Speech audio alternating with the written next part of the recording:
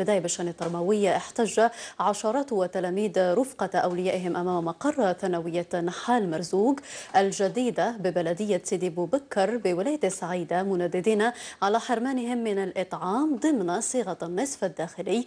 كونهم يقطعون مسافات بعيدة للالتحاق بمقاعد الدراسة. التغطية لمحمد عمراني. ثانوية جديدة بصح ما فيها والو. ما فيها لا مطعم لا والو المطعم طالبوا به كاين بصح المطعم كاين بصح ماش محلول. وكي تهدى الله عليه ولا يقول لك ما دير لا احتجاجات لا والو. قال لك اسكت ولا روح. طالبوا السلطات المدير يفتحوا لنا المطعم خاطر متوفر خاصه غير الفتح فقط. ونطالبوا المدير يهضرنا معنا بدريه ديالنا غير كار غير كار غير قاس يدينا غير قاس 12 باش نفطروا صي خاطر رانا جيعانين ما تنجمش تقرا درك الناس تشاور تفطر وانت تريح قدام السمش مع الماسويه تاكل. ما جاياش كيما هكا. يخرجوا تلاميذ متشردين. قيس 12 يخرج يروح يريح في الشونطي دوك ديجا كنت تصوروا دروك راهم مريحين في الشونطي مع الخدامة.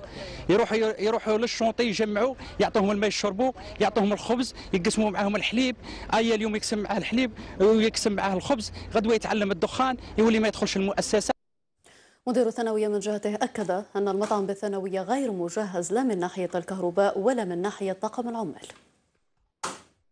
إحنا إحنا في الثانوية عندنا مطعم لكن مطعم غير جاهز. لا من ناحيه لا من ناحية الغاز والكهرباء.